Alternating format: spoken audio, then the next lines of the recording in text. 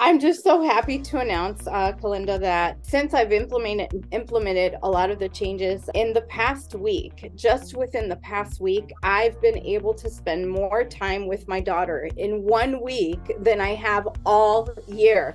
Like I, I just can't believe it. It's phenomenal because I, I just can't believe that in one week I have spent more time with my daughter than I have in an entire year I, it's just unbelievable. And now I just can't, I just can't picture going back, you know, to the old way of how I was doing things. And I just can't believe that I was spending that very little time with her. So, and so it's incredible. Like that right. is literally the reason right. I am oh, here, Norma. Yeah. Sure. And I've also, um, one of the things that I really wanted to do was spend a lot of time doing the things that I love to do, which is self help, you know, read books, and I love to go on hikes and walks. And in the past week, I've also, I, I was able to take a walk for, I think uh, it was 35 miles for last week.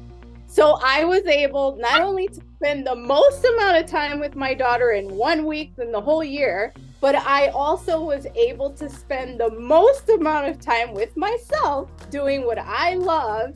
And I just can't believe that I managed to fill in enough time to take walks for up to 35 miles in just one week. Like, that's incredible. And that's how I spend my days. I literally wake up every day and just think, what do I want to do today? Okay, well, today I'm going to do this. So now I'm able to do the things that I want to do, not because I have to. Like I can just pick and choose what I want to do.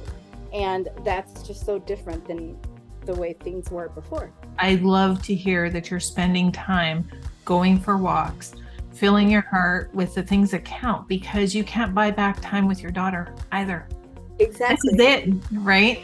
I'm finally doing the things that I said I wanted to do when I was freed or when I got my freedom back.